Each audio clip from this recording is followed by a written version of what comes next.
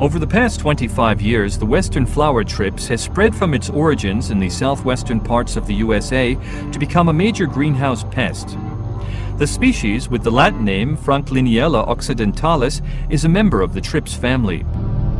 Adults are up to 1.5 millimeters long and prefer to stay concealed, for instance inside flowers, where they feed on energy-rich pollen.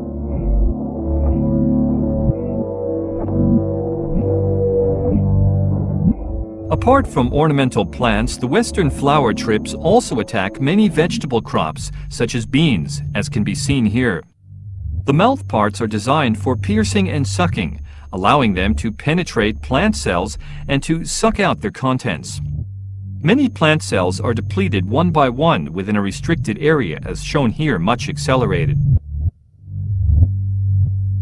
These emptied areas turn pale and are usually covered by dark spots of feces. Severely infested parts of plants can become dehydrated. Frankliniella occidentalis also transmits the economically important tomato-spotted wilt virus.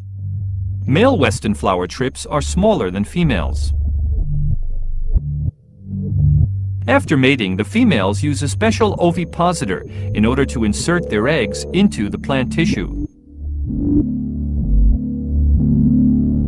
The first stage larvae hatch a few days later and soon start feeding. Here we see the feeding process of such a larva at five times normal speed. Older first-stage larvae often live together in small social groups. A few days later, they shed their cuticle and become second-stage larvae, which also feed by removing the contents of plant cells.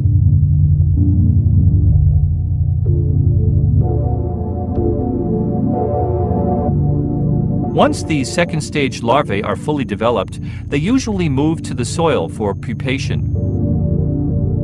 The molting process to the next stage, the prepupa, is shown here on a leaf.